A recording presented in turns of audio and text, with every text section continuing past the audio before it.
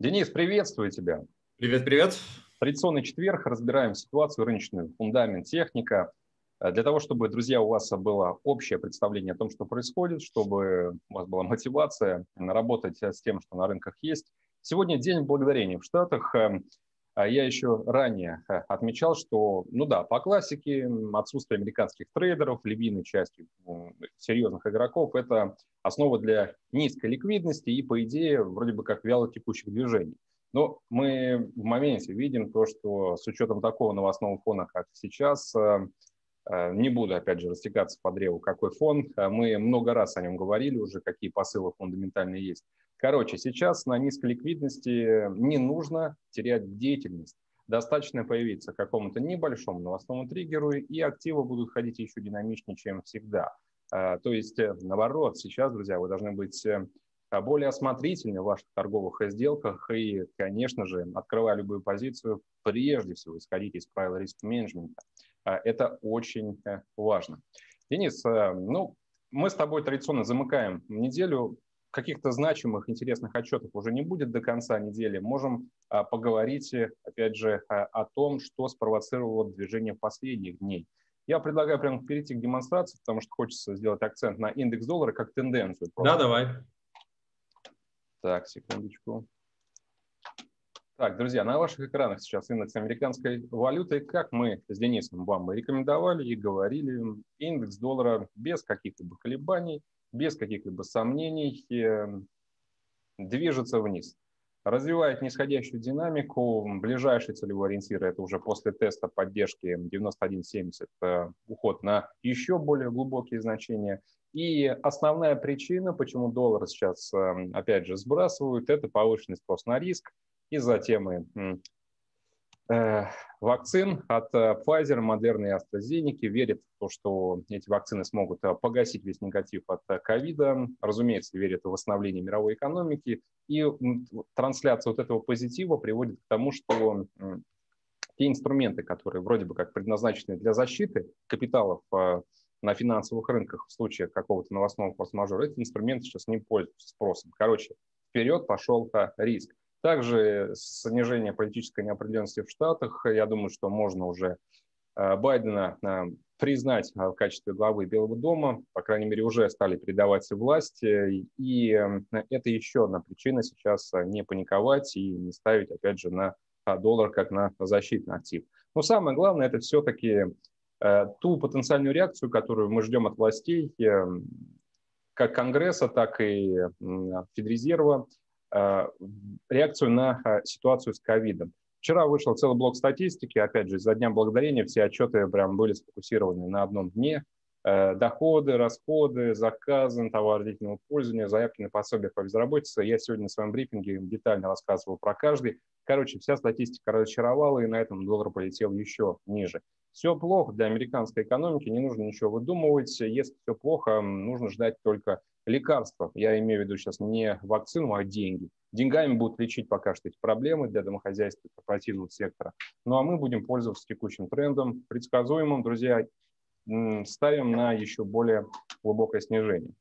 Э, Денис, я предлагаю посмотреть на э, то, что происходит с евро. Европейская валюта тоже предсказуемо сейчас э, растет, поскольку все-таки поджимают доллар. Держится линия восходящего тренда для тех, кто раньше не покупал. Хотя, друзья, если вы раньше не покупали евро, вы совершили большую ошибку. Рынок раздавал деньги, и не взять их было, конечно же, непростительно, э, особенно с учетом того, как настойчиво мы с Денисом вам рекомендовали действовать.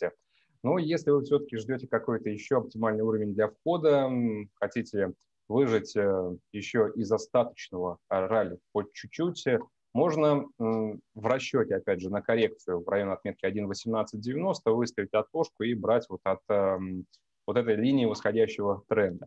Цели 1.1950 и 1.20. Так, э, можно посмотреть э, золото, Денис.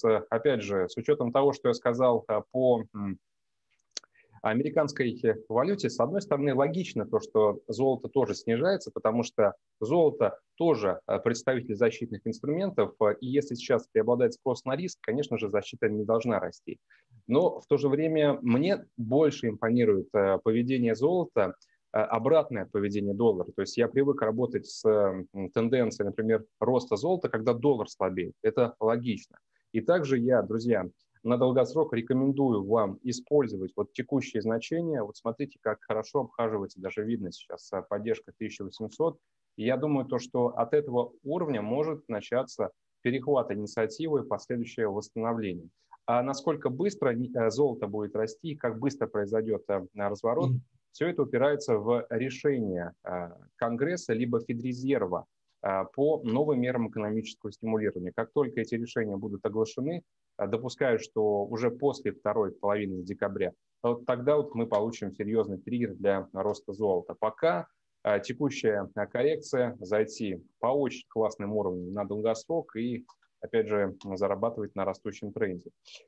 Что касается нефти, вот наконец хоть какое-то подобие снижения. Слушай, вот э, после теста, сейчас максимум у нас был 40, э, секундочку, почти 49 э, долларов за баррель, бренд решил все-таки немножко откатить. Сейчас котировки 47,82.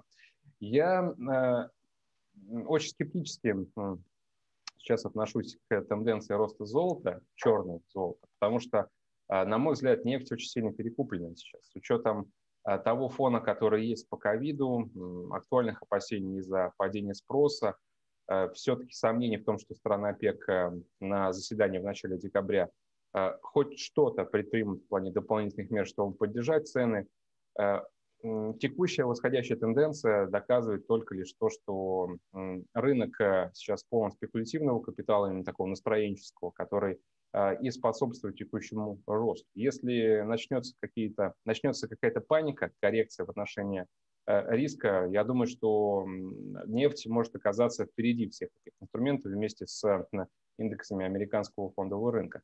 Поэтому я не буду рекомендовать сегодня сделку в расчете на продолжение тренда восходящего, я рекомендую дождаться все-таки пробоя 46-45 долларов за баррель и после этого открывать уже короткие позиции. Но ну, думаю, когда это произойдет, у нас с тобой будет э, возможность снова выйти в эфир и уже актуально прокомментировать ситуацию. Денис, слово тебе передаю. Так, отлично. Э, мне сейчас должно быть уже видно, и мне на самом деле есть что сказать э, касательно твоего анализа, твоего мнения. Uh-huh. У нас ну, на этот раз очень даже солидарным. Дело в том, что для своих подписчиков на торговом канале я показывал еще, собственно, с понедельника выброс вверх, потом у меня были сомнения, я даже продавал евро в районе 1.1880, но вышел с него там буквально минус 7 пунктов уже поздно вечером, потому что были огромные сомнения, когда вот пошло вот такое перекрытие вверх. Uh-huh. Вот. Ну и плюс ко всему еще показывал тот момент, что у нас, вот, если по футпринту разобрать, даже без точных значений, то видно было вот самой падающей свече по евро, большие вкрапления по видам, то есть это срабатывание бай-лимитов происходило. Вот. След, следовательно, реакцию вверх дали. И сейчас я больше вот в плане ориентира уровней, в плане ориентира верхней границы рынка плюс э, технику, я здесь ориентируюсь на Э, верхней границы рынка, и они начинаются в районе 1.2015. То есть 1.2015 на данный момент э, с точки зрения опционного анализа это верхняя граница рынка, и сюда же попадает еще и плюс контрольно-маржинальная зона. Вот. Я у себя показывал как бы, коррекцию вниз в район как раз самой ближайшей поддержки и выброс вверх. Коррекцию вниз вот, буквально от этой свечи дали уже на следующую свечку. Тут, ну, я, бы, я бы сказал, просто идеально пунктовая получилась точность. И дальше выброс вверх. То, что сейчас нам рисует падающую свечу, особо ничего не значит. Даже по футпринту, в принципе, более-менее распределен здесь объем, поэтому я лично считаю, что движение вверх у нас продолжится. 19.50 – это первая цель от которой, может быть, там что-то на коррекцию нарисуют, но не факт. А вот в районе 1.20-15 и выше, там вплоть до 20-30, вот эта область реально сильная. Вот, поэтому а, если аж сюда добьет, то оттуда действительно стоит рассматривать а, продажи, потому что, по сути, это у нас будет а, перебой, ну, пробой, точнее, годового максимума. И такие вещи чаще всего происходят, то есть как ложные делают пробой и быстрый нырок в обратную сторону. Ну, так что если все это вместе подытожить, то я считаю, что вот этот максимум цена запросто может протестировать, как минимум ложно его пробить, а потом уйти уже ну, я бы сказал, даже на первое полугодие 2021 года уйти уже в коррекцию. Но сейчас все-таки приоритетное движение вверх, вот в район 1.20 ориентир. Поэтому продавать раньше лимитом крайне не советую этого делать лучше дождаться а, более четкого сигнала, уже там кульминацию какую-нибудь или по технике, там, скажем, пробой, там внутренние комбинации разворотные, тогда еще можно. Ну, сейчас не стоит. Так что вот такой сценарий, и затем более-менее значимая коррекция ожидаю uh-huh. по евро. Что касается золота, по золоту я за то, что будет добой вниз, потому что, опять-таки, с точки зрения техники, с точки зрения объемов и вливаний, у нас получается, что э, проталкивающий объем находился фактически вот здесь, вот он. Сейчас, как бы, да, формируется здесь э, накопление, и причем открытый интерес сейчас перешел уже с декабрьского на февральский контракт, но, тем не менее, все равно в идеале золото практически всегда делает добой, тем более здесь он прям капец как виднеется добой а, вниз, область 1773-1793, а затем более-менее значимая коррекция уже пунктов где-то на ну, практически на 700, то есть в район уже 1850 примерно, вот туда цена запросто может дойти. То есть вот такая схематичная коррекция, я лично ожидаю, что с очень большой вероятностью у нас может произойти. Вот. Так что золото все-таки пока не спешите с покупками, дождитесь вот этой зонки, просто запомните цифры 1773-1793, и с этой области уже будем рассматривать коррекционные покупки. Тем более у нас открытый интерес сейчас в текущем месячном опционном контракте вот более 10, 10 тысяч э, контрактов сейчас открыто. Вот, uh-huh. Так что однозначно эта область очень сильная, вот путы здесь просто огромные находятся. Так что ждем. И касательно нефти, мне очень понравилась твоя мысль, э, что дальше лонговать не стоит, я ее полностью разделяю. Э, единственное, только ты смотрел бренд, у меня нефть марки VTI. Ну, смысл абсолютно то же самое. То есть я э, считаю, что действительно назрел момент коррекции. Не буду говорить о том, что нефть, там обвал и так далее, нет. А, но коррекцию, да, то есть э, тиков так под 300-350 цена может прогуляться. Тем более, учитывая то, что у нас все-таки, а, если присмотреться внимательно процессе роста, самый крупный объем у нас был сформирован не в проталкивающей свече, а в следующей, и с большим вкраплением асков. Что это означает? Это sell лимиты. То есть вкрапили асков на протяжении недели. Ключевое накопление у нас уже сделано вверху. Поэтому при большем уточнении на часовом графике здесь реализована очень неплохая комбинация, то есть раз накопление, выброс, возврат к накоплению, снова его правое крыло формирования, пробой, закрепление вниз. Вот такие вещи очень часто откатывают снова вот к этой зонке вращения, которая вот как бы сегментирована между двумя накоплениями, и отсюда отваливается снова вниз. Поэтому я считаю, что есть хорошая вероятность прогуляться действительно вниз, единственное, вот только с коррекцией. С текущих не советую этого делать. Ну и плюс ко всему, вот на часовом графике уточнение объема, пожалуйста, то есть не в процессе проталкивания, а вот именно самый крупный объем сформирован был на его окончании. То есть на окончании формирования данного объема, там, где сейчас как поддержку выступает, это как раз-таки срабатывание уже происходит с лимитов. По инерции часто бывает так, что там один сегмент, либо два сегмента добивает, три это очень-очень редко, в основном один-два.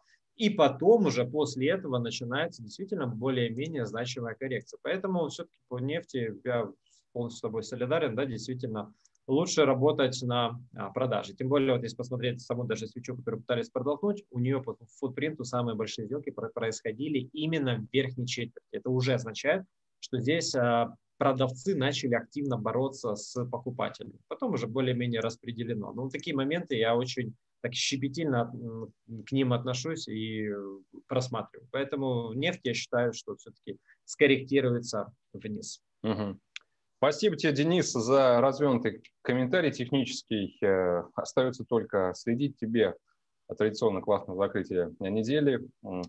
Смотрим давай классных выходных э, и до э, следующей встречи уже во вторник. Я думаю, что будет точно о чем поговорить. Спасибо тебе. Спасибо, коллега. Тебе тоже отличных выходных, которые ну, практически уже начались. Да. В связи с праздниками. Спасибо. Все, пока. Счастливо и до вторника. Всем пока-пока.